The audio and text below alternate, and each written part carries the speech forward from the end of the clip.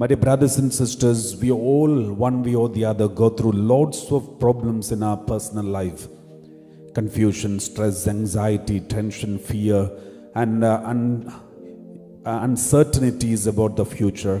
There are so many other problems apart from the sicknesses and body aches and uh, sufferings of our daily life, financial bondages, relationship problems. There are so many things that are disturbing us. And there are certain occasions we don't know what to do the next. And we are in helpless situations and even end up in hopeless situations. In such situations, the best way to come out of every crisis that we face is to worship Him. Because that is why we are created. That is the intention why God has created us. We need to worship God.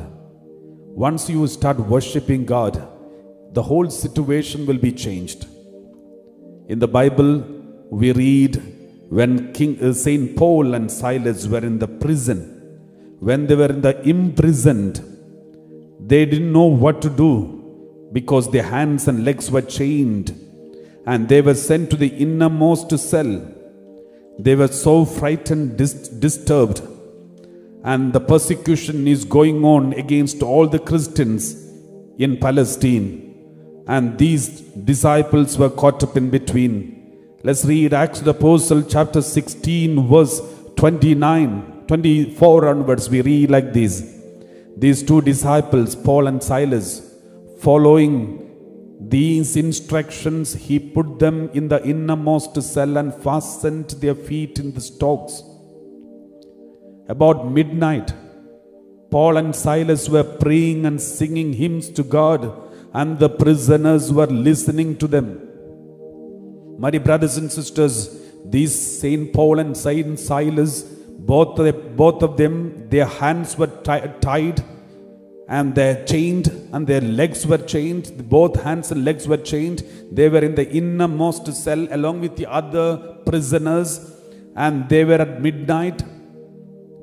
They can't sleep because the whole body is aching and there is uncertainties, anxiety, and stress, and fear, and t- confusion. They can't sleep peacefully at b- that moment. So, what did they do? In the midst of all the suffering, instead of blaming others, insulting others, complaining to others, and you know, cursing themselves, instead of doing that, they started praying and singing hymns to God. They started worshiping God. That is the best thing that we can do in the situations like these.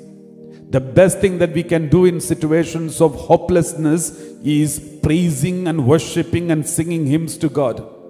And the prisoners were listening to them. None of the prisoners joined with them in praising God, but they were just listeners.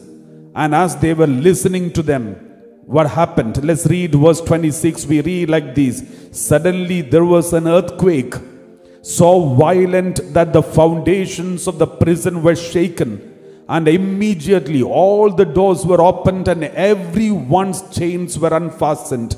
Not only Paul's and Silas' chains were unfastened, even the, the prisoners who were watching them, looking at them, just listening to them, even their chains were broken when these two people praised God.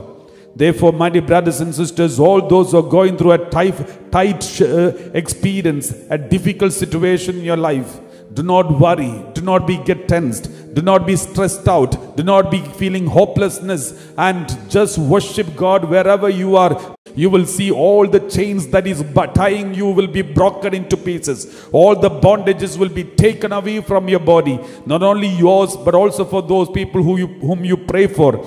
And therefore, this is the assurance the Lord is giving you and me.